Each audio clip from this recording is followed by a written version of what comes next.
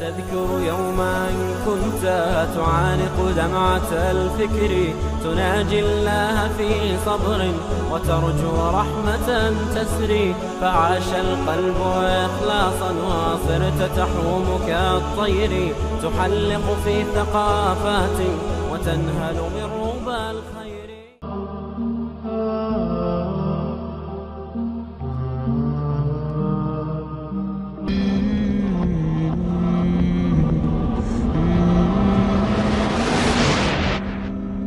সুতরাং এখানে বুকে আপনি হাত বাঁধেন সেটা আপনি এইভাবে বাঁধতে পারেন বখারিতে এই আছে এবং আপনি এইভাবে বাঁধতে পারেন এই এইভাবে আপনি বুকে হাত বাঁধতে পারেন দুটাই।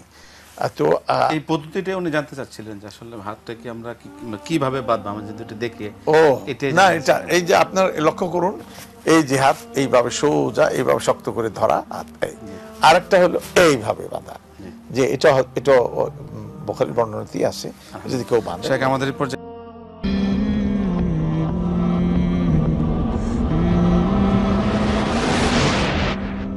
প্রথমে নামাজে হাত বাঁধার সঠিক নিয়ম হচ্ছে যে স্বাভাবিকভাবে তিন জিনিস যে জায়গায় ধরলে তিন জিনিস এসে যাবে সেটাই সেখানে আসে সেখানে হাত। মানুষ হাত কারও লম্বা থাকে কারও হাত বেঁটে থাকে ছোট থাকে। সব মানুষকে আপনি আহ, এক জায়গায় দিতে পারবেন না। এইটা, ধস, এটা বলো, এটা কবজি এইটা কবজি, এটা এটা তিনটা জিনিস যেখানে হাত পড়ে যাবে, সেটা আবার হাত যেখানে যায়, স্বাভাবিকভাবে আপনি বাঁকা করেন না, এটাকে আপনি নিচে করেন না হ্যাঁ? আপনি স্বাভাবিকভাবে যেখানে যায়, সেখানে রাখেন। দেখবেন যে এটাই অবদীয় এটাই দাসত্ব প্রকাশের জন্য সবচেয়ে উত্তম কাজ। এটাকে আপনার হাত যদি বেশি লম্বা হয়তো আরও নিচেও যায়, কোনো সমস্যা নেই। আর বেশি লম্বা না, ছোট আছে, উপরে উঠে গেছে, তাতেও সমস্যা নেই। এটা নিয়ে বাড়াবাড়ি করাটা গুণা কাজ প্লিজ এটা নিয়ে বাড়াবাড়ি করবেন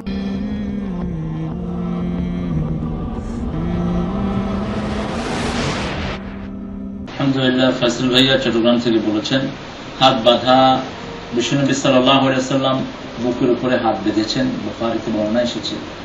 এবং নাভির উপরেও হাত বেঁধেছেন, এরকম একটি বর্ণনা আছে। তবে বিশুদ্ধ হলো বুকের উপরে হাত বাঁধা, এখানে, এভাবে। ডান হাতটা উপরে থাকবে আর বাম হাতটা নিচে থাকবে। অর্থাৎ আমাদের দেশের মেয়েরা যে হাতটা বাঁধে, এটা হলো বেশি বিশুদ্ধ। তবে আবার বিভিন্ন মাঝহাব মতে আমরা যদি মাঝহাবে যাই, সকল মাঝহাবে ইমামরাই হাদিস ফলো করেছেন। এবং সেজন্য আমরা যে কোনো একটা স্কুল অফ থটকে ফলো করলে সমস্যা নেই আমাদের। চারটা যে মাঝহাব আমরা ধরি, প্রত্যেকটা মাঝহাবই সহি হাদিসের কায়েল ছিলেন প্রত্যেকে মা আবু হানিফা সহ সবাই বলেছেন ইজা সহাল হাদিস ফাহুয়া মাযহাবি। যেটা সহি হাদিস সেটাই আমার মাঝহাব। আবার অনেকে হাত বাঁধেনও না। বিষ্ণু বিশ্বাসলাম একসময় অসুস্থতার কারণে হাত বাঁধতে পারেন নাই। সেই জন্য অনেকে হাত না বেঁধে আপনার মক্কা মদিনায় গেলে দেখবেন বহু মানুষ হাত বাঁধা ছাড়া এভাবে খোলামেলা নামাজ পড়েন। আবার ইমাম বুখারি নিজে বুকের উপর হাত বাঁধতেন। আবার ওনার ওস্তাদ ছিলেন তিনি নাবির উপর হাত বাঁধতেন। এটা নিয়ে ইখতলাফ করার কোনো বিষয় না। এবং আমরা যদি বুকে বাঁধি এটাই বেশি সহি হবে বেশি সহি করাটাই আমাদের জন্য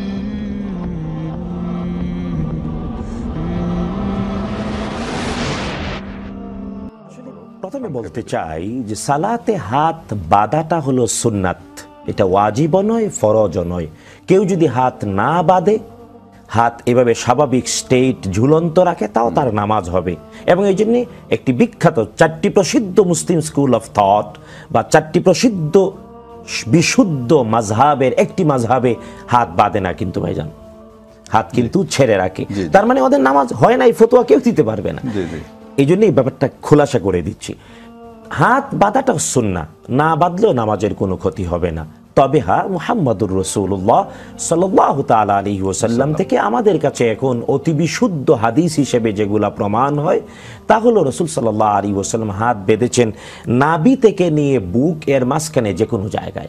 নাবির উপর থেকে নিয়ে বুক। কেউ যদি বুকের উপর বাঁধে তাও বিশুদ্ধ। কেউ যদি এভাবে বাঁধে তাও বিশুদ্ধ। কেউ যদি এভাবে তাও বিশুদ্ধ। নাবির উপর পর্যন্ত। নাবির নিচে নাবির নিষ্ঠা হলো সরমগা নাবির নিষ্ঠা আমাদের পুরুষরাও ঢেকে রাখাটা সতর। তো নাবির নিচে বাদার ব্যাপারে যে বর্ণনাটা এই বর্ণনাটা বিশুদ্ধ নয় বলেই মহাদিসিন কেরামের অভিমত। তাই আমরা অনুরোধ করব সুন্নার উপর আমল করলে বিশুদ্ধটা আমল করি আমরা গ্রাম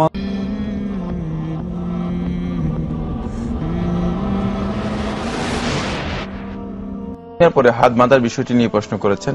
এবং প্রশ্নের শুরুতেই তিনি একটা কথা উল্লেখ করেছেন যে, কিছু বিতর্কিত বা মত পার্থক্য রয়েছে এমন কিছু প্রশ্ন তিনি নিয়ে এসেছেন। তো আসলে এই বিষয়ে মত পার্থক্য রয়েছে ওলামা কেরামের মধ্যে। তিনটি বক্তব্য রয়েছে। দুটি বক্তব্য অত্যন্ত কাছাকাছি বক্তব্য। দুটি আমরা উল্লেখ করব। প্রথম বক্তব্যটি এসেছে যে, একদল ওলামায় কেরাম বলেছেন যে হাত বাঁধবেন, তিনি না নাভির নিচে। আর এটি হানাফি মাঝহাবের ওলামায় কেরাম গ্রহণ করেছেন। ইমাম আহমদুল হাম্বুল রহমতুল্লাহ থেকে একটি বর্ণনা পাওয়া যায়, যদিও সেটি দুর্বল বর্ণনা। তো এই ক্ষেত্রে আলী ইবনে তলেব রাদিয়াল্লাহু তাআলা থেকে একটি বর্ণনা উল্লেখ করা হয়ে থাকে, যেটি আবু দাউদের রেওয়ায়তের মধ্যে এসেছে এবং এই বর্ণনার মধ্যে আবু দাউদের এই রেওয়ায়তটি অত্যন্ত দুর্বল বর্ণনার দিক থেকে গ্রহণযোগ্য নয়। আরেকটি বিষয় রয়েছে, সেটি হলো রহমতুল্লাহ সিন্দি রহমতুল্লাহ যখন আবু দাউদের এই রেওয়ায়ত নিয়ে পর্যালোচনা করেন। পর্যালোচনা তিনি উল্লেখ করেন যে, এই আবু আবু দাউদের এই রেওয়ায়তের মধ্যে তাহতাল আসররা এই শব্দটুকু, অর্থাৎ নাবির নিচে, এই শব্দটুকু মূলত কোনো না কোনো বর্ণনাকারী অথবা ভারতবর্ষের যে কপি রয়েছে, এই কপিতে পাওয়া যায় আবু দাউদের অন্যান্য কপিতে পাওয়া যায় না। এ থেকে মনে হচ্ছে যেন কেউ এর মধ্যে নিজেই নিজের পক্ষ থেকে এটি সংকলন করে দিয়েছেন সংযুক্ত করে দিয়েছেন হাদিসের মধ্যে।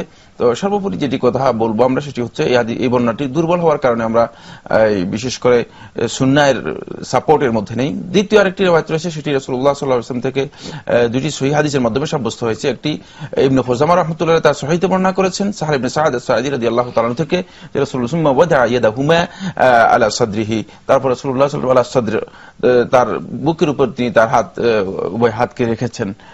তো এই যদি এই রেওয়ায়তটাকে ওলামাই কেরামের একদল সহি বলেছেন, শেখ নাসুদ্দিন আলবী রহমতুল্লাহ সহি বলেছেন এবং এই যুগের গবেষকদের মধ্যে অনেকেই সহি বলেছেন, এবং আগেকার যুগের গবেষকদের মধ্যে কেউ কেউ সহি বলেছেন। তো এই থেকে আমরা যদি দেখি, তাহলে আমরা স্পষ্ট করে বলতে পারি সেটি, যেটি হলো সহি রওয়াজ যদি চাই এবং সুন্নাহ অনুযায়ী আমরা যদি আমল করতে চাই, তাহলে উত্তম হবে যেটি, সেটি হলো তিনি তার বুকের উপর হাত রাখবেন এবং এটি উত্তম সুন্নার আলোকে।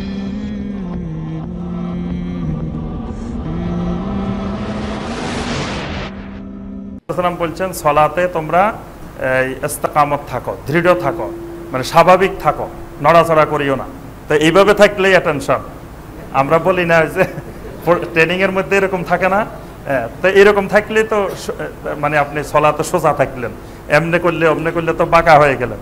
এই জন্য তাদের তাদেরও দলিলে হাদিস আছে অনেক। তারা এইভাবে থাকেন। আচ্ছা যে ভাইয়েরা এইভাবে আদায় করেন কোনো অসুবিধা নেই। তারা এইভাবে আদায় এইভাবে রাখবেন।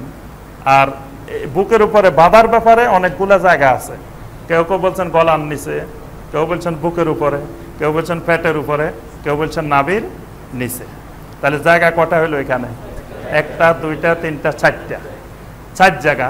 আলহামদুলিল্লাহ, এটা ফরজনা ওয়াজিবনা বাধ্যতামূলক কোনো বিষয় না। আপনার মনে যেখানে সুবিধা লাগে, আপনি যে জায়গায় রাখাকে সুবিধা মনে করেন, ভালো মনে করেন, বা সুন্নত মনে করেন, বা আপনার যে শাইখের অনুসরণ করেন, যে আলেমের আত্মেবা করেন, সেই আলেম যদি আপনাকে বলে যে পেটের উপরে রাখো পেটের উপরে রাখবেন। যদি বলে যে নাবির নিচে রাখো নাবির নিচে রাখবেন। কিন্তু আরেকজন পেটের উপরে রাখলে তারা টানে নিচে নামাই দিবেন না। এটা খেয়াল রাখতে হবে যে ষাট জায়গার যে যেখানে রাখো বা পাঁচ জায়গা, একজন শাড়ি দিছে, আপনি দেখতেছেন যে এ তো হাত বাঁধে নাই। আপনি টানে ওর হাতের বান্ধাই দেওয়া দরকার নাই। উনি ওইভাবে রাখছে উনি ওইভাবে রাখো। আপনি এইভাবে রাখছেন এইভাবে এটা ইসলামের সৌন্দর্য। এগুলা হলো মাহাসানুল ইসলাম। এগুলো ইসলামের সৌন্দর্য। এগুলা যদি বাধ্যতামূলকে হইতো তো নবী সালাম এটা নির্দিষ্ট না করে দুনিয়া থেকে যাইতেন না। নবী সালামকে আল্লাপাক দুনিয়ায় পাঠাইছেন দিন শেখানোর জন্য।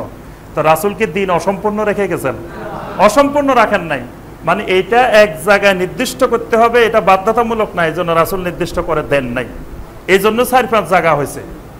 এটা ইসলামের সৌন্দর্য, যে সব রকমে আদায় করবে, কিন্তু ইসলামী ভ্রাতৃত্ব নষ্ট হবে না, সবাই ভাই ভাই কিন্তু একজন এক জায়গায় হাত বাঁধবে। হাত বাঁধার দ্বারা ভ্রাতৃত্ব নষ্ট হবে না। আচ্ছা এখন আসি আমরা, যারা গলার নিচে বাঁধবে, তারা কেমনে বাঁধবে? নবী সালাম হাদিসে বলছেন যে, ডান হাতকে বাম হাতের জেরার উপরে, আলা জেরা ইহিল ইউসরা, বাম হাতের জেরার উপরে রাখতে হবে। জেরা কোনটা? জেরা নিয়ে একটু একটা লাভ আছে, যে এই অংশটা জেরা নাকি এটা জেরা? মানে কবজির সাথে লাগানো, এই অংশটা কি জেরা হবে না এটাকে? তো আরবি ভাষাবিদেরা কেউ বলতেছেন যে এটা যারা, কেউ বলতেছেন যে এটা যারা। তো যারা যারা এটা বলছেন, তাদের মতো হলো আপনি গলার নিচে হলে এইভাবে, যদি বুকের উপরে আলা সদরিহি, বুকের উপরে হলে এইভাবে, পেটের উপরে হলে এইভাবে নাবের নিচে হলে এইভাবে। মানে আপনি যারা যদি এটাকে ধরে নেন। আর যারা যদি এটা হয়, তাহলে এখানে হলে এটা, এখানে হলে এটা, এখানে হলে এটা, এখানে তো সম্ভব না। তাহলে আমরা অনেককে দেখি বুকে হাত বাঁধান। আমাদের দেশে বিশেষ করে ওই দুই রকমের বাধা আছে। একটা বুকের উপরে আর একটা হইল নাভির নিচে। আর বাকিগুলো আমাদের দেশে প্রচলিত নাই। এখন বুকের উপরে যারা বাঁধেন, অনেকে এমনি বাঁধে রাখেন। শক্ত করে এমনি ধরে রাখেন এখান থেকে এটা সুন্নতের খেলাফ। এইভাবে বাঁধা যাবে না। যদি আপনি এটাকে যারা ধরেও আমল করেন, তাহলে এইভাবে। এই জরার উপরে আপনি এইভাবে হাত রাখলেন। হাতের আঙ্গুলগুলো এই সীমানার বাইরে যাবে না। এই সীমানার এদিকে থাকবে। এই জারার উপরে, এক হাতের উপরে আর এক হাত রাখবেন সুন্দর করে। রাখেন দেখি, যারা এখানে হাত পাতেন তারা এখানে রাখেন। এই শুধু বাম হাতের জারাইয়ের উপরে ডান হাত রাখবেন। অথবা আপনি এখানেও রাখতে পারেন। এবং হকপন্থী ওলামাই কেরাম যারা যারা আহলুল আলেম, যারা বুকের উপরে হাত বাঁধেন তারা এখানের থেকে, এখানে বাঁধার পক্ষে বেশি মত। এই যারা এর উপরে। এই জন্য মসজিদ নবীর ইমামদেরকে, মসজিদে হারামের ইমামদেরকে দেখবেন, তারা কিন্তু এখানে বাঁধে। এখন তো সহজ। আপনি এখনও যাই বাসা যায় দেখতে পারবেন যে মসজিদে হারামের ইমামরা কোথায় বাঁধেন নবীর ইমামরা। একটু আগে আমরা বলছি না যে ইমান পৃথিবীর কোথাও না থাকলে মদিনা থাকবে। এলেম পৃথিবীর কোথাও না থাকলেও মদিনা। বিশুদ্ধ এলেম। এবং ইমাম আবু ইউসুফ রহমতুল্লাহের মতো ইমামও কিন্তু মদিনা যায় যাচাই করে নিছেন যে স কোনটা হবে। তাহলে ইমাম আবু ইউসুফ কোথায় আর আমরা কোথায়? ইমাম আবু ইউসুফ যদি মদিনা যাচাই করেন, তো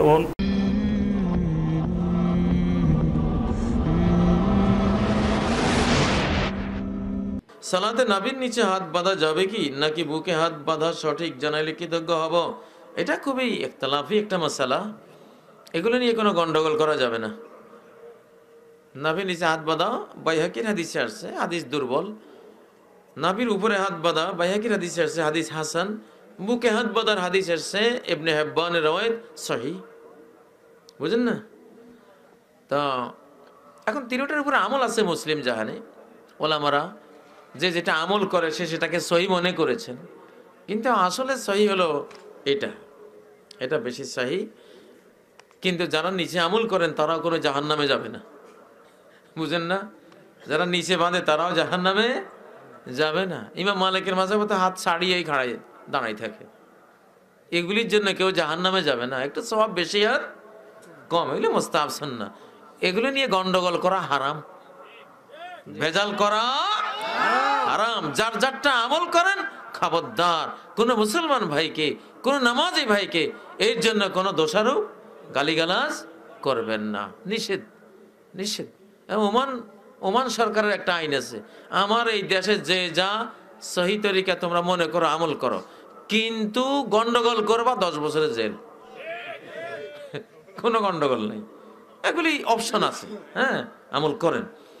আখেরাতে গেলে হয়তো কেউ সব বেশি পাবে, যারটা বেশি সহি, বেশি সব পাবে। এইটুকু, এগুলি কোনো ফরজও না, ওয়াজিবও না, ঠিক কি না? খুব সাবধানে আমল করবেন।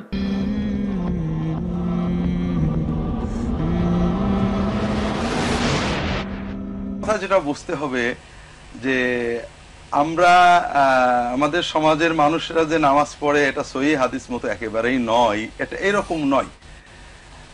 দ্বিতীয় যেটা বুঝতে হবে যে কিছু কিছু বিষয়ে, যেমন ভাই দুটো কথা বলেছেন, বুকে হাত বাঁধেন আসলে সহি বখারি, সহি মুসলিমের কোন সহি হাদিসে হাতটা কোথায় বাঁধতে হবে বলা নেই। বলা আছে ডান হাতকে বাম হাতের উপরে রাখতে হবে। অথবা ডান হাত দিয়ে বাম হাতকে ধরতে হবে। রোজ সাইদ জেরা। এইটা কোন জায়গায়? এখানে না এখানে? এটা সহি কোনো হাদিসে বলা নেই। বোখারি, মুসলিমের হাদিসে তো নয় যে হাদিসগুলোতে নাভির নিচে বলা হয়েছে, ওই হাদিসগুলো দুর্বল। যে হাদিসগুলোতে বুকের উপর বলা হয়েছে, প্রত্যেকটা হাদিস আলাদা আলাদা ভাবে প্রত্যেকটা হাদিসে দুর্বল। এককভাবে সহি কোনো হাদিস নেই। এখানে একটা তাউসের একটা মুরসাল হাদিস আছে, আর একটা অন্য হাদিস মোহাম্মদ ইবনে ইসমাইলের লেখা ইবনে খুজাইমার আছে, ইবনে ইবনে রেওয়ায়ত করা। এই দুটোর সমন্বয়ে এই বুকের উপরে হাদিসকে কোন কোন মহাদ্দেশ সহি বলেছেন। পাশাপাশি আল্লামা ইবনুল খাইয়েম এই বুকের বাধাকে সহি বলতে রাজি হননি, বরং ইমাম আহমদ ইবনে হাম্বাল, ইবনুল কাইম আহমদ ইবনে হাম্বালের অনুসারী ছিলেন। ইমাম আহমদ ইবনে হাম্বাল নাভির নিচে বা উপরে বাঁধতে বলেছেন বুকে বাঁধাকে তিনি মাকরু বলেছেন। যে কারণে ইবনুল কাইম বুকে বাঁধার হাদিসগুলোকে, হাদিসকে সহি বলতে উনি আপত্তি করেছেন। লাম ইয়াকুল আলা সদরিহি ইল্লা মুআম্মাল। এই একমাত্র ব্যক্তি ছাড়া কেউ বুকের উপর কথা বলিনি, সে দুর্বল। তো যাই হোক ভাইরা এই ক্ষেত্রে আমরা প্রথমে যেটা বুঝতে হবে, যে রসুল্লাহ সহি হাদিস গুলোতে ডান হাতের উপরে বাম হাত রাখতে বলেছেন এটা আমরা এখানে রাখি এখানে রাখি ইনশাল্লাহ সুন্নত আদায় হয়ে যাবে। সবগুলো হাদিস মিলালে বুকের উপরটা অধিক বা বুকের কাছাকাছিটা মানে যেহেতু বলা হয়েছে জেরা নাভির নিচে পর্যন্ত যায় না এই কাছাকাছিটাই জোরালো হয়। সহি হাদিসে জেরা বলা হয়েছে এখানে রাখার কথা। তারপরেও আমরা যেহেতু রসুলাম সুনির্ধারিত কোন সহি হাদিসে এইভাবে বলেন অধিকাংশ হাদিসে রাখতে বলেছেন। কাজে এইটাই সহি আর ওইটা নয় এই পর্যায়ে আমরা না যাই বরং আমরা বুঝি যে এই দুই তিন রকমের আছে। আমাদের প্রশস্ততা আনি। সাধারণ মুসলমান আমাদের দেশের মুসলমান, যারা আমরা হানাফি মাজহাবের অনুসরণ করি, আমরা যে প্রচণ্ড ভুলটা করি, সেটা হলো একজন মানুষ উপরে হাত বেঁধেছে বা রফা আয়দিন করেছে, তাকে দেখে কখনো বলি ওহাবি, কখনো বলি কাদিয়ানি, কখনো বলি নামাজহাবি অর্থাৎ লোকটা আমার ইমামের মত মানেনি, কিন্তু আমার রসুল সাজা মত মেনেছে, কয়েক ডজন সাহাবির অনুসরণ করেছে, তাকে আমি ভালো বলতে রাজি নই। তাহলে আমি খারাপ বললাম কাকে? স্বয়ং রসুল্লাহাম সাহাবিদেরকে খারাপ বললাম। কাজেই আমি একটা আমল করি, আমারটা ঠিক আছে, এই যুক্তি আমরা দিতে পারি। কিন্তু অন্য হাদিস যারা আমল করছেন, আপনি বলবেন, মানসুখ হয়ে গেছে। কয়েক ডজন সাহাবি আমল করেছেন, তাবেইন আমল করেছেন, চার ইমামের অনেক ইমাম আমল করেছেন, আপনি কেন সেটাকে খারাপ বলবেন? এই জন্য আমরা মনের প্রশস্ততা আনি, যেগুলো সহি হাদিস দ্বারা প্রমাণিত, সব রকমের আমলকে বৈধ জানি। আর ভাইকে বলব যে এই মুস্তাহাব বিষয়গুলো নিয়ে না আপনি আপনাকে বিপদে ফেলেন হাত যেখানেই বাঁধেন সুন্নত আদায় হবে। বড় জোর এখানে একটু মুস্তাহাব বা এখানে একটু মুস্তাহাব, এইটা হলো ইখতিলাফ। রফল ইয়াদাইনে যারা বলেছেন, তারাও বলেছেন মুস্তাহাব। এটা বাদ দিলে আপনার কোনো গুণা হবে, কেউই বলেননি। তো এই জন্য মুস্তাহাব বিষয়গুলো নিয়ে ঝগড়া করে আপনি যদি পালন করতে পারেন, আলহামদুলিল্লাহ, না হলে এই বিব্রতকর পরিস্থিতিকে বাঁচার জন্য আপনি বাদ দিতে পারেন ইনশাল্লাহ কোনো গুণা হবে না। আল্লাহ আলম। আল্লাহ তালা আমাদের সকলকে হেফাজত করুন। প্রিয় দর্শক, আজকের এই খুঁটিনাটি বিষয় নিয়ে আজকে বর্তমান সমাজে অনেক ইখতিলাফ মানুষের মধ্যে রয়েছে।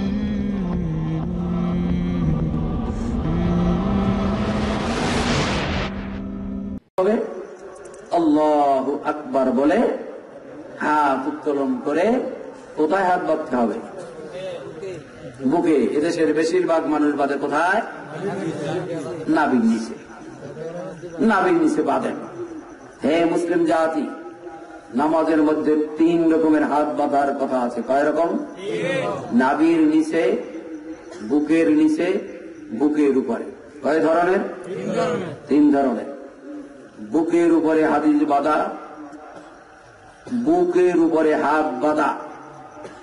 সহি মুরগু মুক্তাসিল হাদিস নাই সহি হাদিস আছে। সহি মুরগু মুক্তাসিল সমাজে বুকের উপরে বাঁধার কথা নেই। সহি হাদিস আছে। আবুদুল শরীফের শাশ্বত ছাপ্পান্ন, সাতান্ন, আটান্ন, উনষাট চারটি হাদিসে, তিনটি হাদিস হল নাবিন বাঁধা, একটি হাদিস হল বুকের উপরে বাঁধা, আলা সদ্রিহি। উনষাট সাতশত উনষাট নম্বর হাদিস। এই হাদিসটি সহি বুকের উপরে বাঁধার কথা বলেছেন। আর সাতশত ছাপ্পান্ন, সাতান্ন, আটান্ন তিনটি আসার এবং জৈবার জাল। তিনটি একটাও সহি নয়। আবু দুধ যদি থাকে, এখন নিয়ে আসেন, আমি এখন যদি দেখাইয়া দিতে না পারি, তাহলে জুতার মালা গলায় দিয়ে এখান থেকে যাব। আমার বাপ করে নাই অনুবাদ, ইসলামিক ফাউন্ডেশন অনুবাদ করেছেন। তাহলে চারটির মধ্যে একটি হলো সহি, সেটা হলো বুকে বাঁধা। সহি কিন্তু মারফু মুতাসিল নয়। বুখারিতে একশত দুই নম্বর পৃষ্ঠার তেরো লাইনের নিচে যে হাদিসটি রয়েছে, আল্লাহ রসুল সাল্লাহ হ্যাঁ চুরি তো করা হয়েছে। আবু দৌর শরীফের ভিতর থেকে একশো দশ নম্বর পৃষ্ঠা, চার নাম্বার লাইনের নিচে বাবু ওয়াজির ইমনা আল আলী ইসরাফি সলাপ এই অধ্যায় থেকে এই হাদিসগুলো বাদ দিয়ে দিয়েছে দেওবন্দি হুজুররা, পণ্ডিতরা। পন্ডিতরা বাদ দিয়ে দিয়েছেন, আরবির মধ্যে নাই।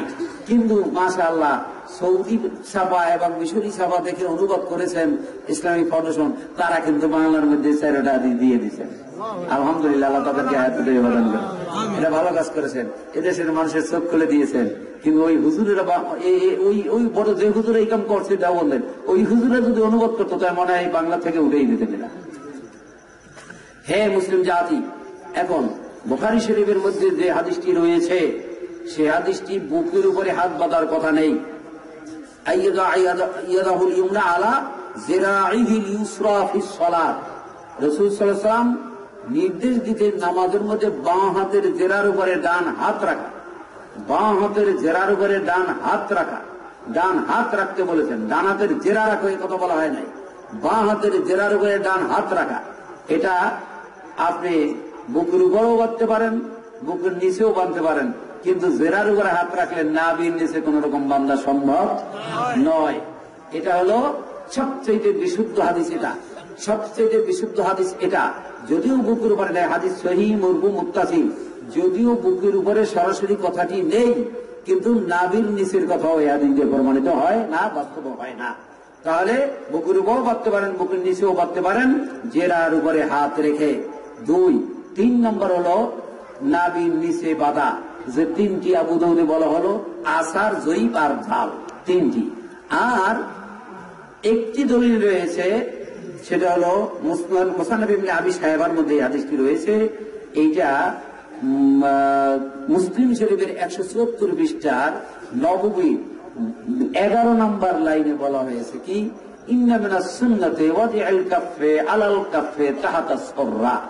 নিশ্চয়ই নামাজের মধ্যে সুন্নত হলো বাঁ হাতের কবজির উপরে ডান হাতের কবজি রেখে তাহাতুন মানে নিচে সরাতুন মানে নাবি নাবির নিচে বাঁধা। এখন এই কথা বলার পরে ওখানে উল্লেখ রয়েছে, জয়ীফুন। হাদিসটি আলা হাদিসটি ব্যাপারে সকলে একমত। আবি সাহেবাতা আব্দুর রহমান বিন ইসহাক আল ওয়াসিতি মুসান্নাফ ইবনে আবি সাহেবের মধ্যে। আব্দুর রহমান বিন ইসহাক আল ওয়াসিতি এই হাদিসটি বর্ণনা করেছেন। আহুয়া জয়ীফুম বিল ইত্তেফাক। এই আব্দুর রহমান বিন ইসহাক আল ওয়াসিতি সে যে জয়ীফ ব্যক্তি, হাদিস বর্ণনাকারী যোগ্য ব্যক্তি নয় এতে সমস্ত দুনিয়ার মহাদিসের একমত। বুঝতে পারলেন? তাহলে নামাজের মধ্যে বুকের নিচে, বুকের উপরে নাবের নিচে। বুকের উপরে সহি, বুকের নিচে সহি মুরগু মুক্তাসিল আর নাবির নিচে জয়ী ফম্বিল ইত্তেফাক। দুনিয়ার সমস্ত মহাদিসরা বলছে আদিসটা জয়ী এটা গ্রহণযোগ্য নয়। কথা বুঝতে পেরেছেন?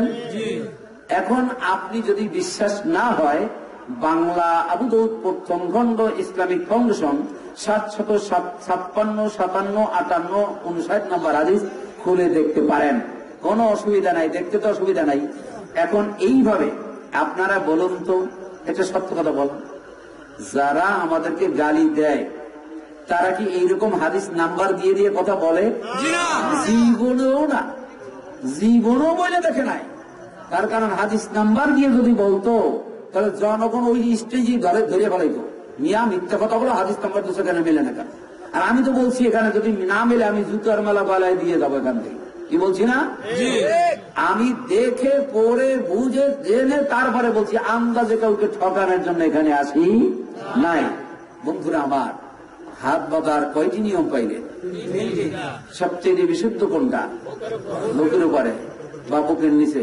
তাহলে আপনারা এই কথা জানার পরেও যদি আপনি দলের টানে, হুজুরের টানে কি বলে, আপনার নেতার টানে ভুল করেন, তাহলে আপনি কবরে যাওয়ার সময় বিসমিল্লাহ আলামিল্লাতে ইমাম অমুক বললেন বিসমিল্লাহ আলামিল্লাতে আমার উস্তাদ অমুক এই কথা বললেন বিসমিল্লাহ আলামিল্লাতে রসুলিল্লাহ বলিয়েন না। তার কারণ রসুল রেখে গিয়েছেন হাদিস। সেই হাদিস সঠিক বেঠিক জানার পরেও যেই ব্যক্তি বেঠিক থেকে আমল করবে সেই ব্যক্তির কবরে রাখার সময় আলামিল্লাতে রসুল্লাহ বলা সমীচীন নয়। হে মুসলিম জাতি আল্লাহ রাবুল আলমিন বিবেক দিয়েছে। এই বিবেক দিয়ে বিবেচনা করে হাত বাঁধবেন।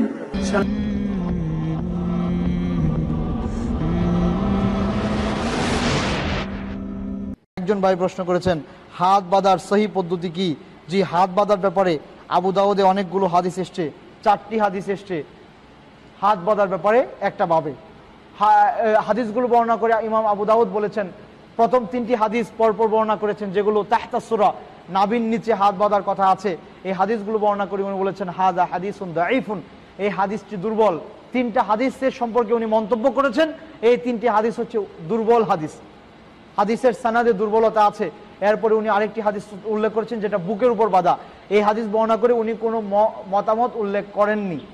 তাহলে ওই হাদিসটি যদি দুর্বল হতো, তাহলে উনি বলে যেতেন, তার মানে হাদিসটি সহি। একটি ব্যাপার পাওয়া যায়।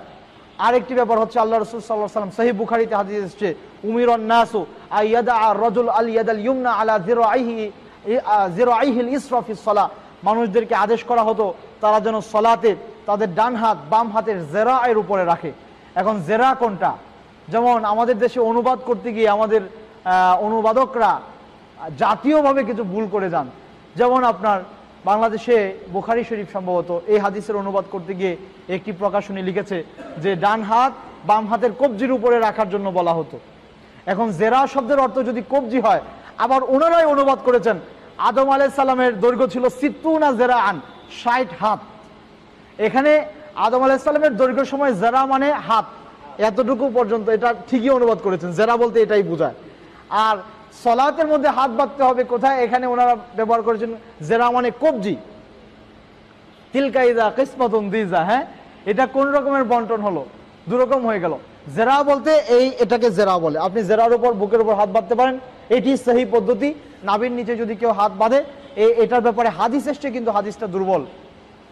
আল্লাহ আমাদেরকে রহম করুন আমিন।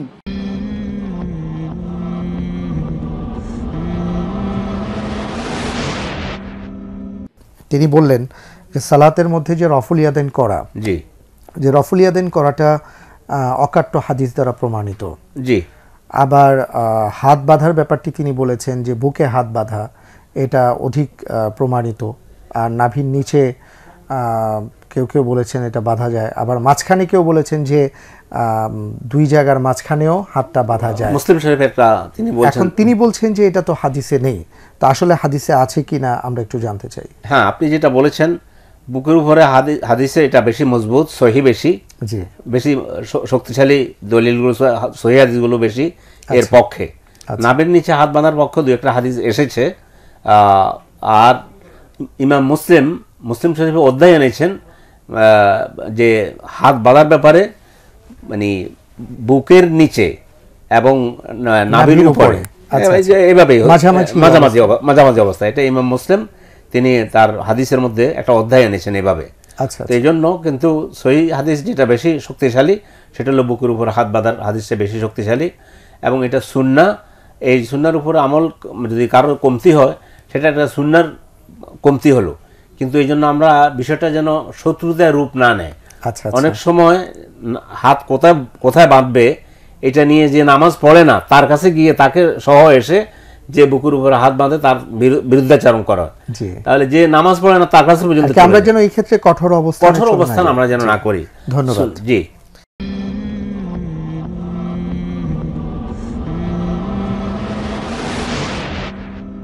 আমরা আল্লাহ আকবার বলে সলাত আরম্ভ করব। আল্লাহ আকবার বলার পূর্বে আমরা সুন্দর করে অজু করে নিব রাসুলের পদ্ধতিতে। সুন্দর করে অজু করার পরে আমরা সলাৎ শুরু করব। আল্লাহ আকবার বলার পূর্বে কোনো শব্দ মুখে উচ্চারণ করা হবে না। প্রথম শব্দ অজু করার পরে সলাদের জন্য আঙ্গুলের মাথা আকাশমুখী থাকবে আর কাঁধ সামনাসামনি থাকবে একাধিক সহি হাদিস। কাঁধ সামনাসামনি করে, কানের লতি সামনাসামনি করে হাত উঠিয়ে ডান হাতকে বাম হাতের কবজির উপরে রাখতে হবে। অবশ্য বাহুর উপরে বাহু রাখা যায় সহি হাদিস, কিন্তু কবজির উপরে কবজি রাখারও একাধিক সহি হাদিস। এরপরে হাত দুটি বুকের উপরে রাখতে হবে। নাভির নিচে হাত বাঁধার চারটি হাদিস আছে, একটিও সহি নয়। এই জন্য আমরা এখানে আপনাদের কাছে একটা জোরালো অনুরোধ রাখব, যেটা সহি সেটাই পালন করার চেষ্টা করি, আল্লাহ কবুল করুক।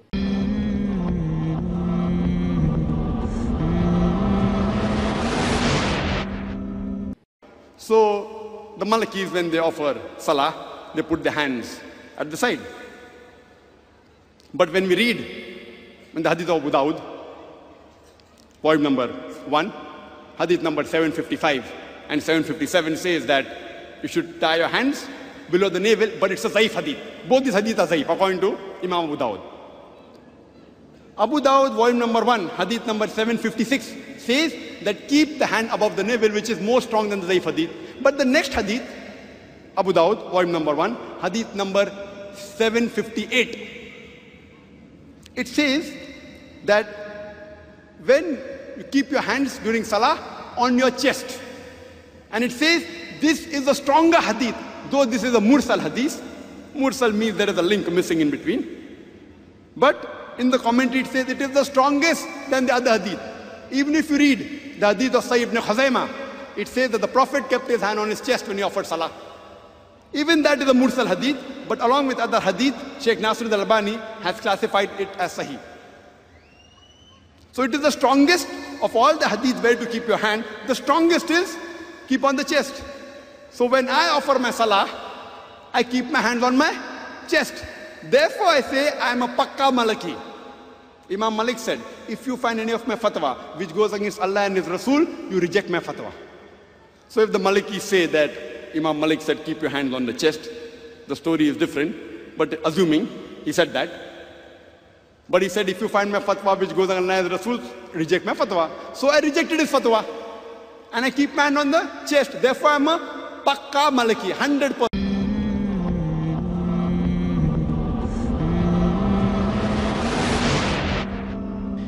তাউস রহমতুল্লাহ আলী তাবেই তিনি বর্ণনা করছেন যে কানা রসুল্লাহ সাল্লাম রসুল্লাহ ইয়াদা আলা ইয়াদেহিল ইউসরা।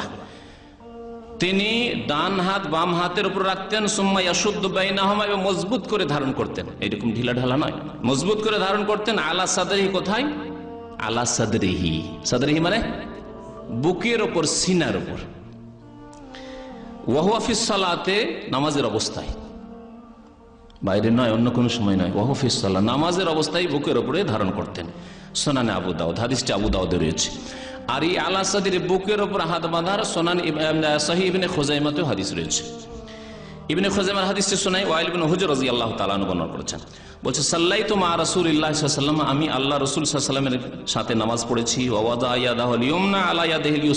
বাম হাতের ওপর ডান হাত রাখলেন, তাহলে হাত ছেড়ে নয়। আলা সাদরি কোথায় রাখলেন?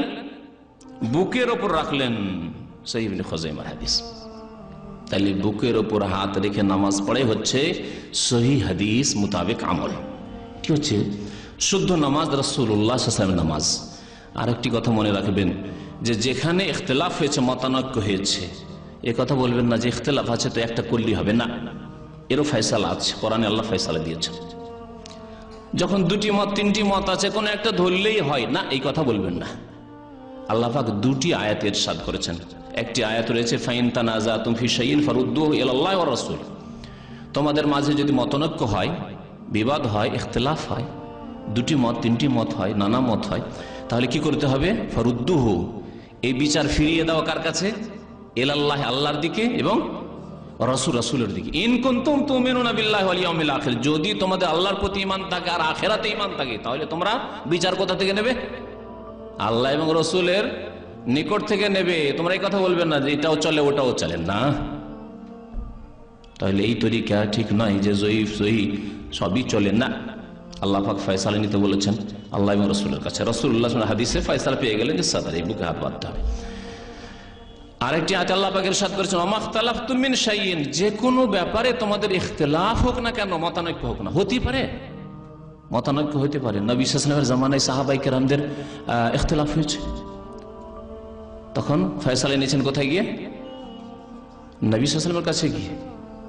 নবী সালাম যা বলেছেন, মেনে নিয়েছেন। তাঁর ইন্তেকালের পরে ইখতলাফ হয়েছে, খোঁজ করেছেন। তাহলে সহি হাদিসে কি আছে? নবী সালাম এই ক্ষেত্রে কি বলেছেন বা কি করেছেন?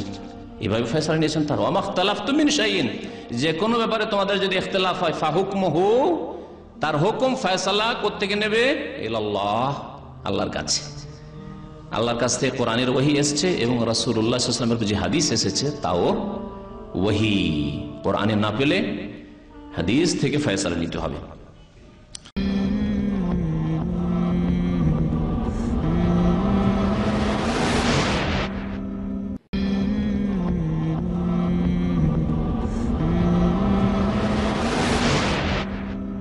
এবার আমরা সালাতের কিছু ফুরুই শাখাগত নিয়মে আসি, যখন আপনি তাকবির দিবেন, তাকবির দিয়ে হাত কোথায় বাঁধবেন? অনেক বড় মাসলা, কমসে কম এক আধ ঘণ্টা, দুই ঘণ্টা এই জাতীয় মাস্তার উপর কথা বলা লাগে, কিন্তু তারপরেও যেহেতু এখানে সময় নাই, প্রত্যেক মাস্তার উপর আমি সংক্ষিপ্ত সংক্ষিপ্ত করে আলোচনা করব ইনশাআল্লাহ আজিজ। এখানে দুটা মাসলা আছে। ইমাম মালিক রাহেমহল্লার পক্ষ থেকে বর্ণনা করা হয় আল মুদাওয়ান আল কুবরা নামে একটা বই আছে। সেই বই ইমাম মালিক রাহেমহল্লার পক্ষ থেকে নকল করা হয়েছে যে ইমাম মালিক বলতেন যে, ইমাম মালিক রাহেমহল্লার মত হচ্ছে যে, সালাতে তাকবির দেওয়ার পর হাত ছেড়ে দিতে হবে। তার মানে এইভাবে সালাতে আল্লাহ আকবর তাকবির দেওয়ার পর হাত ছেড়ে দিতে হবে। কোথাও বাধার কথা ইমাম মালিক রাহেমহল্লা বলেন নি। কিন্তু ইমাম মালিক রাহেমাহুল্লার দিকে নিসবাত করে যে কথা বলা হয়, এই কথা ভুল। ইমাম মালিক রাহেমাহুল্লাহ তার নিজের গ্রন্থ নিজের লেখা গ্রন্থ মোয়াত্তা মালিকে সালাতে তাকবীর দেওয়ার পর হাত বাঁধার হাদিস নিয়ে এসেছেন। সুতরাং ইমাম মালিক রাহেমাহুল্লার এটাই মত যে সালাতে তাকবির দেওয়ার পর হাত বাঁধতে হবে। আর বাকি সকল ইমাম এই বিষয়ে একমত যে সালাতে তাকবির দেওয়ার পর হাত বাঁধতে হবে, এতে কোনো ইখতলাফ নাই। ইখতলাফ হচ্ছে হাত কোথায় বাঁধতে হবে? হাত কোথায় বাঁধতে হবে এই মর্মে যতগুলো হাদিস আছে, বুকের উপরে হোক, নাভির উপরে হোক, নাভির নিচে হোক, পেটের উপরে হোক, সকল হাদিসেই কিছু না কিছু দুর্বলতা আছে। এটা হলো এক নাম্বার কথা। প্রত্যেক হাদিসেই কিছু না কিছু দুর্বলতা আছে। তো এই দুর্বলতা সম্পূর্ণ হাদিসগুলোর মধ্যে সঠিক বা সহি হওয়ার সবচাইতে নিকটবর্তী হাদিস হচ্ছে বুকের উপর হাত রাখার হাদিস। ইবনে খোজাইমা রাহমাহুল্লাহ তার সাহি ইবনে খোজাইমাতে এই হাদিসটা ওয়াইল ইবনে হজর ওয়াইল ইবনে হজর রাদিয়াল্লাহু তাআলার পক্ষ থেকে নিয়ে এসেছেন যে রাসূল সাল্লাল্লাহু আলাইহি ওয়াসাল্লাম ওয়াদাইহি আলা সাদরিহি তার বুকের উপর বাঁধলেন। এই হাদিসের উপর যে অভিযোগ পেশ করা হয়, যারা বুঝেন তারা মনোযোগ দিয়ে শুনবেন, যারা বুঝতে পারছেন না তারাও শোনার চেষ্টা করবেন, আস্তে আস্তে বুঝবেন ইনশাআল্লাহ। এই হাদিসের একজন রাবি হচ্ছে মুআম্মাল বিন ইসমাঈল। এই মুআম্মাল বিন ইসমাইল সম্পর্কে যারা এই হাদিসকে দুর্বল বলেছেন, বুকের উপরে হাত বাঁধার হাদিসকে, তারা মুআম্মাল বিন ইসমাঈলকে বলেছেন মুনকারুল হাদিস। যে ইমাম বুখারী রাহিমাহুল্লাহ মুআম্মাল বিন ইসমাঈলকে মুনকারুল হাদিস বলেছেন। মুনকারুল হাদিস এই কথাটা একজন রাবির ক্ষেত্রে, একজন হাদিসের বর্ণনাকারীর ক্ষেত্রে অনেক নিম্ন পর্যায়ের শব্দ। অনেক নিম্ন পর্যায়ের শব্দ শুধু দুর্বল নয়, দুর্বলেরও নিম্ন স্তর হচ্ছে মুনকারুল হাদিস। তো এই কথা ইমাম বুখারী রাহমাহুল্লাহর পক্ষ থেকে হাফেজ মিজরি তার তাহজিবুল কামাল, হাফেজ ইবনু হাজার আসকালানি, তার তাহজিবুত তাহজিব, তাকরিবুত তাহজিব, এগুলো সব জায়গাতে নকল করেছেন। কিন্তু দুঃখজনক হলো, বাস্তবতা হচ্ছে যে ইমাম বুখারী রাহমাহুল্লাহ তার কোনো বইয়েই মোহাম্মদ বিন ইসমাইলকে মুনকারুল হাদিস বলেননি। ইমাম বখারি রহমাউল্লাহ একটা লিখিত বই আছে আর তারিখ আল কাবির যেটাতে তিনি রাবিদের জীবনের উপর বইটা লিখেছেন। তার প্রথম বই এটা তারিখ আল কাবির সহি বুখারির আগেও বয়স যখন তার আঠারো, তখন তিনি আর তারিখুল কাবির লেখা শুরু করেছিলেন। এই আর তারিখুল কাবিরের অষ্টম খণ্ডের উনপঞ্চাশ পৃষ্ঠায় মোহাম্মদ বিন ইসমাইলের কথা ইমাম বুখারি রহমাউল্লাহ নিয়ে এসেছেন, কিন্তু তার উপর কোনো কথা বলেননি। মুনকারুল হাদিসও না, অন্য কিছু না। কিন্তু এই মোহাম্মদ বিন ইসমাইলের পরে আর একজন রাবি আছে। তারপরে ইমাম বখারি রহমাল্লা ওই তারিখ তার বইয়ে মোহাম্মদ বিন ইসমাইলের পরে আর রাবি আছে, নাম হচ্ছে মোহাম্মদ বিন সাঈদ। প্রথমজন হচ্ছে মোহাম্মদ বিন ইসমাইল যিনি বুকের উপর হাত বাঁধার হাদিসের বর্ণনাকারী। এনার ব্যাপারে ইমাম বুখারি তার তারিখুল কাবিরে কিছু বলেননি। তারপরের রাবি হচ্ছে মোহাম্মদ বিন সাঈদ, তার ব্যাপারে ইমাম বুখারি রহমাল্লাহ বলছেন মুনকারুল হাদিস। কিন্তু আশ্চর্যজনক হলো সত্য যে হাফেজ মিজদি যখন তার তাহজিবুল কামালে এই কথাগুলো নকল করছেন, তখন যেই রাবির উপর ইমাম বুখারি মুনকারুল হাদিস বলেছেন, ওই রাবির ক্ষেত্রে তাহজিবুল কামালে কোনো কিছু বলা নাই। আর যেই রাবির ব্যাপারে ইমাম বুখারি রহমাল্লাহ কিছু বলেননি, ওই জায়গাতেই তাহজিবুল কামালে কি বলা আছে, মুনকারুল হাদিস বলা আছে। তথা হয়তোবা ইমাম মিসি রাহমাহুল্লাহর পক্ষ থেকে ভুল হয়ে একজন রাবির হুকুম আর একজন রাবির ক্ষেত্রে পড়ে গেছে। কেননা দুইজনেরই নাম মুআম্মাল, একজনের বাপ ইসমাইল, মুআম্মাল বিন ইসমাইল, যার যিনি হচ্ছেন বুকের উপর হাত বাঁধার হাদিসের বর্ণনাকারী, আর আরেকজন হচ্ছেন মুআম্মাল বিন সাঈদ। মুআম্মাল বিন ইসমাইলকে অনেকেই, অর্থাৎ বুকের উপর হাত বাঁধার হাদিসের রাবিকে অনেকেই শক্তিশালী বলেছেন। ইহয়া ইবনে মুঈন তাকে শক্তিশালী বলেছেন। ইহয়া ইবনে মুঈনের লেখা তারিখ বইয়ের 235 নম্বর রাবি হচ্ছে মুআম্মাল বিন ইসমাইল। তিনি তাকে শক্তিশালী বা মজবুত বলেছেন। ইমাম আবু দাউদ রাহিমাহুল্লাহকে তার ছাত্র আজুরি একবার মুহাম্মদ বিন ইসমাইল সম্পর্কে জিজ্ঞেস করেছিল। তখন তিনি তার অনেক প্রশংসা করেছিলেন। ওরাফা আমিন শাহনিহি অনেক প্রশংসা করেছিলেন আবু দাউদ রাহিমাহুল্লাহ। এরকম মোহাম্মদ বিন ইসমাইলের প্রতি অনেক শক্তিশালী করণের পক্ষে মহাদ্দিসিনদের পক্ষ থেকে বক্তব্য আছে। এই জন্য মোহাম্মদ বিন ইসমাইলকে ইমাম বুখারির পক্ষ থেকে মুনকারুল হাদিস নকল করার মাধ্যমে বুকের উপর হাত বাঁধার হাদিসকে জয়ীব বলার কথাটা শুদ্ধ নয়। এই হাদিসে দুর্বলতা আছে। সেই দুর্বলতাটা হচ্ছে, এই হাদিসের রাবি সুফিয়ান সাউরি রাহমাহুল্লাহ অনেক বড় মহাদ্দিস হওয়ার পরও তিনি হাদিসে তাদলিস করতেন, মোদাল্লিস ছিলেন। আর যখন কোন মোদাল্লিস রাবি আন শব্দের মাধ্যমে হাদিস বর্ণনা করে, তখন তার হাদিস গ্রহণ করা হয় না। এই হাদিসে এই ছোট্ট দুর্বলতা আছে। কিন্তু মুনকারুল হাদিস বলার মাধ্যমে হাদিসকে পূর্ণ দুর্বল করে দেওয়া এটা সঠিক নয়। এই হাদিসকে সামনে রেখে মোহাম্মদ নাসিরুদ্দিন আলবানী রাহমাহুল্লাহ আরও দুইটা হাদিসকে জমা করেছেন। একটা হচ্ছে তাউস রাহমাহুল্লাহর পক্ষ থেকে মুরসাল সহি হাদিস, আর আরেকটা হচ্ছে আসিম বিন কুলাইবের রিওয়ায়তে বর্ণিত হাদিস। ওটাও সম্ভবত ওয়াইল বিন হজুর থেকে। এগুলো সকল হাদিসকে জমা করে নাসিরুদ্দিন আলবানী রাহমাহুল্লাহ বলছেন যে, বুকের উপর হাত রাখার হাদিস হাসান বলা যায় সহি বলা যায়, বুকের উপর হাত রাখায় বিশুদ্ধ। আর নাভির নিচে হাত রাখার বিষয়ে যে হাদিসগুলো আছে, এগুলো একেবারেই দুর্বল। নাভির নিচে হাত বাঁধার হাদিসের অধিকাংশ হাদিসগুলোর রাবি হচ্ছে আব্দুর রহমান বিন ইসহাক আল ওয়াসিতি যার সম্পর্কে কোনো মহাদ্দিসই পাওয়া যায় না, যে তাকে শক্তিশালী বলেছে। সকল মহাদ্দিস তাকে দুর্বল বলেছেন। আবু হাতিম রাহেমহল্লা বলছেন, লা ইউহতাজ্জু বিহি ওয়া মুনকারুল হাদিস। তার জারাহ এবং তাআদিলের পঞ্চম খণ্ডের 213 নম্বর পৃষ্ঠা। ইবনু মুআইন ইবনু মাইন রাহিমাহুল্লাহ বলছেন, লাইসা বিশাইইন লাইসা বিশাইইন মানে কিছুই নয়, আর কোনো গুরুত্বই নাই। ইবনু মাইন রাহিমাহুল্লাহ যখন এই শব্দ ব্যবহার করেন, লাইসা বিশাইইন তখন এর দ্বারা অনেক নিম্ন পর্যায়ের একজন রাবির জন্য অনেক নিম্ন পর্যায়ের গুণ হচ্ছে, লাইসা বিশাইইন যে এই রাবি কিছুই নয়।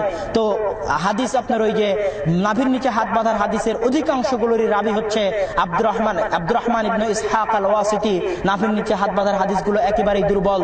এখন আমরা কিছুক্ষণের জন্য নাভির নিচে হাত বাঁধা এবং বুকের উপর হাত বাঁধার হাদিস থেকে বের হয়ে আসি।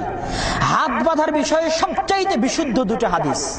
হাত বাঁধার বিষয়ে সবচাইতে বিশুদ্ধ দুটো হাদিস বুখারির হাদিস বুখারিতে একটা হাদিস আছে ইমাম বুখারি রহমাল্লাহ নকল করছেন। সাতশো চল্লিশ নম্বর হাদিস যে রাসুল সাল্লাহ তার ডান হাতকে তার বাম হাতের বাহুর উপরে রাখলেন, জেরায়ের উপরে রাখলেন, বাহুর উপরে। আর এই হাদিসের ব্যাখ্যা আবু দাউদে সহি সূত্রে, নাসাইতে আটশো নব্বই নম্বর হাদিস এবং আবু দাউদেও আছে। সেখানে বলা আছে যে রাসুল সাল্লাহ আলাইসাল্লাম তার ডান হাতকে রাখলেন, আলা বহরে কাফিহি তার কবজির উপর, ওয়া রুসগিহি, ওয়া সাঈদিহি। সাঈদ হচ্ছে কোনো এবং কবজির মাঝামাঝি জায়গার উপর। তো যখন আপনি আপনার হাতকে কবজির উপর, কবজির হাড়ের উপর এবং কোনো আর কবজির মাঝামাঝি জায়গার উপর রাখবেন, তখন হাতটা যেই জায়গায় আসে অটোমেটিক এটাই মূলত হাত বাঁধার সবচাইতে সঠিক পদ্ধতি। হাদিসের সবচাইতে এবং সহি হাদিস, বিন্দুমাত্র সন্দেহ নাই, বুখারের হাদিস, যেই জায়গায় আসবে আপনার হাত অটোমেটিক ওই জায়গাতেই আপনি হাত বাঁধবেন, এটাই বিশুদ্ধ এবং এটাই রাসুল সরাসের পক্ষ থেকে প্রমাণিত সুন্নাত। আল্লাহ সুবাহ আমাদেরকে এটার প্রতি আমল করার তৌফিক দান করুক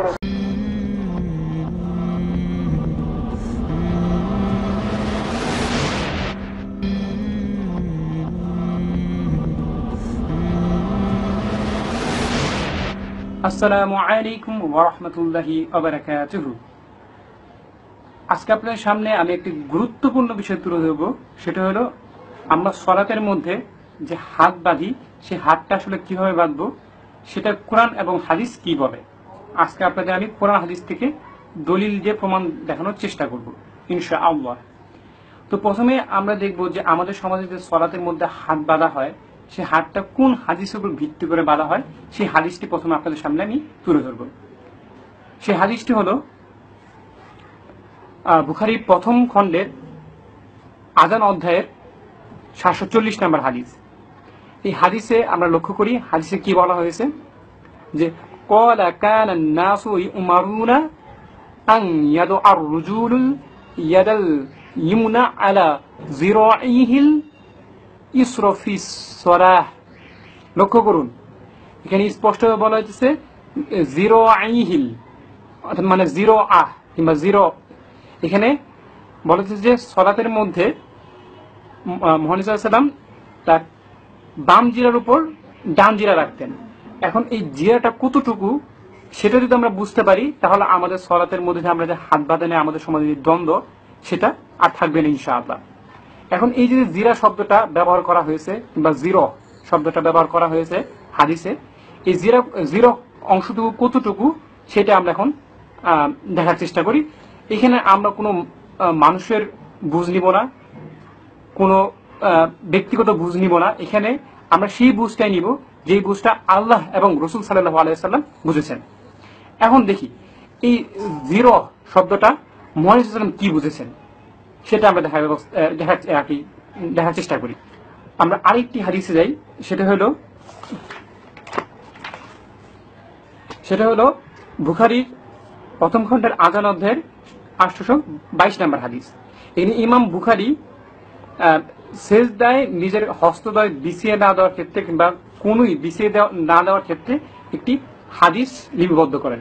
এবং এই হাদিসের অধ্যায়ের নাম দেন, বাপটা দেখুন, বাপটা কি দিচ্ছেন উনি? লিখেন বাবলা ইয়াফ বাবলা ইয়াফ তাইসু জিরো দেখুন খেয়াল করুন।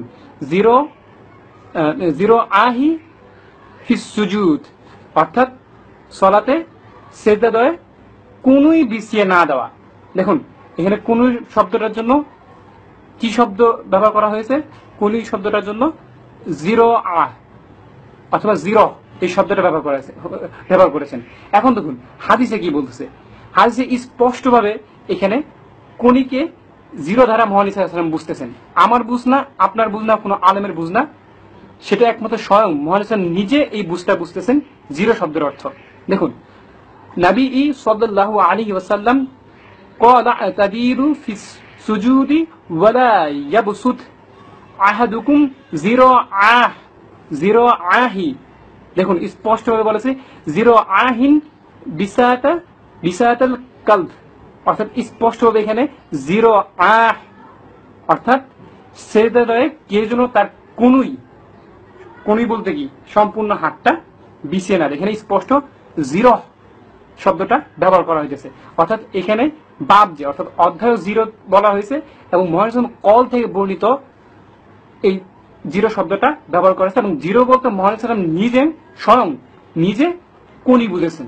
তাহলে দেখুন, এর আগের হাদিসতে মহান বলছেন, তোমরা সালাতের মধ্যে বাম জিরার উপর ডান জিরা রাখো। এই জিরা কতটুকু? এটা এই হাদিস দ্বারা স্পষ্টভাবে বোঝা যাইতেছে এই জিরোটারও সম্পূর্ণ কোনই এখন কেউ যদি বলেন, এইখানে জিরো বলতে কোনই না, অন্য কিছু। কিংবা শুধুমাত্র কবজিটুকু।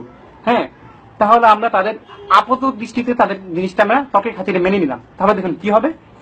তার মানে এখানে যে যদি এখানে হাত যদি বুঝায় জিরো অর্থ কুড়ি না বুঝে যদি আমরা হাত বুঝি তাহলে দেখুন আরেকটা হাদিস আছে যে আপনার সেটা হলো আহ, বুখারির প্রথম অধ্যায়ের আজান আজান অধ্যায়ের আপনার প্রথম খণ্ডের আজান অধ্যায়ের আষ্টশো নয় নম্বর হাদিস।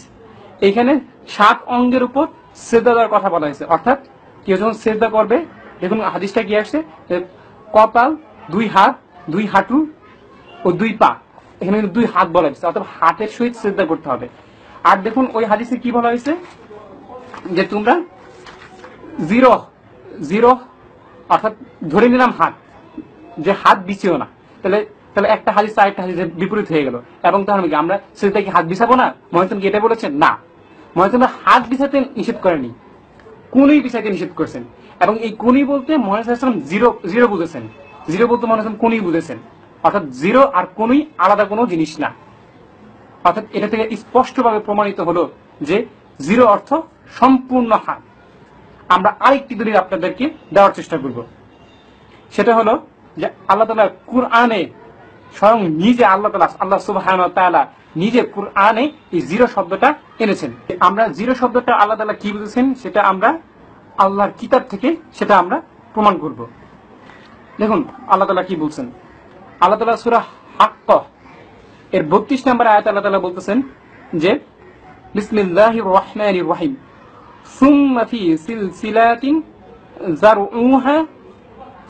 উনা জিরো জিরাআন ফাসদুকুহ স্পষ্টভাবে আল্লাহ তালা দেখুন, এখানে বলতেছে জিরো আন বা জিরো শব্দটা আল্লাহ তালা ব্যবহার করেছেন। এখন দেখুন এটা অর্থ কি? যে জাহান্নামীদেরকে কি করা হবে?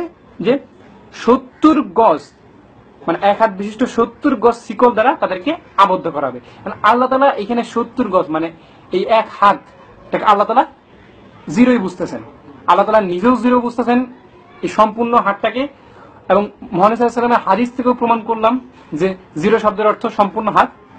তবুও যারা কিনা এই জিরো শব্দটাকে নিজেদের মতামতকে নিজেদের মতামতকে টিকে রাখার জন্য এই জিরো শব্দকে জিরো শব্দকে কুবদি হিসেবে ব্যবহার করে, আল্লাহ সুবহান তারা তাদেরকে সহি বুঝ দিক।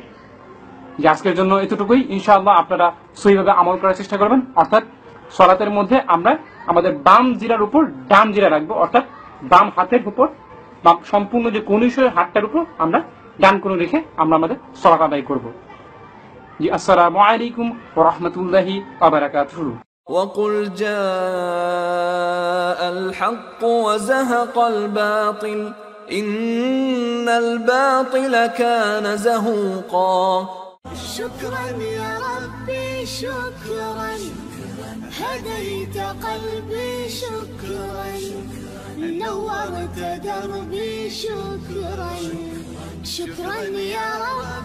شكرا يا رب